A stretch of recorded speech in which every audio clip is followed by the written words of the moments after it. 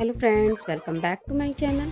तो फ्रेंड्स, आज मैं करने जा रही हूँ आपके सामने अपने मिक्सर ग्राइंडर का अनबॉक्सिंग जो कि ये फ़िलिप्स की है। और ये मुझे मिली है इक्कीस सौ पचास की। आप लोगों को तो मैंने कई ब्लॉग में बताया कि मेरी पुरानी वाली मिक्सी ख़राब हो गई थी, उसको मैंने दो बार बनवाया, लेकिन वो फिर ख़राब हो गई और उसका छोटा जो चटनी वाला जार है, वो भी टूटा हुआ था तो फिर मैंने नई मिक्सी ले ली। और ये मैंने जो मेरे घर के पास भूतनाथ मार्केट है, जहाँ का मैं आपको कई बार दिखा चुकी हूँ, भूतनाथ मार्केट, वहीं से मैंने ली है। तो उन्होंने वहाँ पे चेक करा के और फिर से इसको पैक कर दिया था। तो मैंने सोचा कि आप लोगों के साथ ही मैं इसको खोलती हूँ, आप लोगों के सामने। तो मैं ये इसकी पैकेजिंग खोल रही हूँ, इस तरीके से कार्डबोर्ड के पैकेजिंग में आया है। इसको खोल लेते हैं और ये इस तरीके से पूरा पैक पैक है। ऊपर इसमें सारे जितने भी उसके जार हैं, उसकी लिड रखी हुई थी। तीन जार हैं, तीनों की। और फिर ये अंदर मिक्सर और तीनों जार रखे हुए हैं तो उसको निकाल लेते हैं।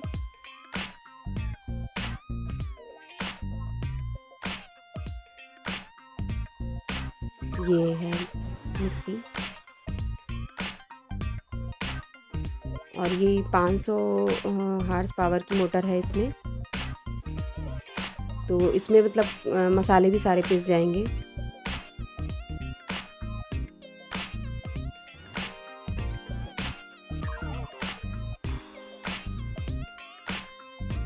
ये इसके सारे जार इस तरीके से पॉलीथीन में रैप हैं। उसने मुझे वहाँ पे सारे जार चेक करके दिखाए थे। मैंने सारे चला के देख लिए थे वहाँ पे। ये वाइट कलर की है। मैंने उससे पूछा था किसी और कलर में हो, क्योंकि वाइट जल्दी गंदा होता है, कुछ भी गिर जाता है। और ये इसका लो मीडियम हाई इस तरीके से करके इसका स्विच है। ये ऑफ़ हो जाएगा सीधा करने पे। ये इस साइड ही इसको करना है। इस लिखा हुआ है सब। तो कुछ भी उसमें दिक्कत नहीं होती है। और ये इसका बड़ा जार है। शेक वगैरह बनाने के लिए या फिर ज़्यादा लहसुन, प्याज, टमाटर ज़्यादा की हो तब वो पीसने के लिए। और ये इसका, इसके लिड हैं। दो के प्लास्टिक के दे रखे हैं और एक फाइबर का है, कांच की तरीके से लगता है। ये इसका है। और ये उससे छोटा वाला जार है। अधिकतर तो यही यूज़ में आता है, बीच वाला ही। ये इसका ये इसका है लिड लेकिन मुझे लग रहा था कि बहुत ज़्यादा टाइट है ये उस वाले का तो नहीं है, बड़े वाले का, लेकिन फिर मैं कंफ्यूज़ थी मैंने लगा के देखा तो ये इसी का था। काफ़ी टाइट है मतलब कुछ भी इसमें से निकलेगा नहीं। ढीला नहीं है, रबड़ लगी हुई है इसमें। मैंने इसको लगा के उस पर देखा कि उसका तो नहीं है, लेकिन ये इसी का था।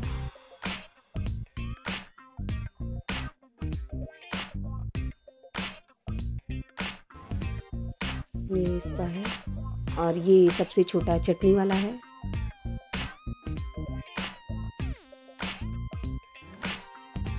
इसका भी इस तरीके से प्लास्टिक की लिड दे रखी है।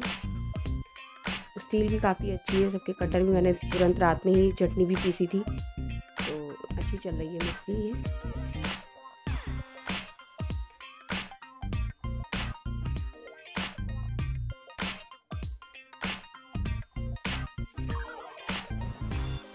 ये इसके तीनों जार,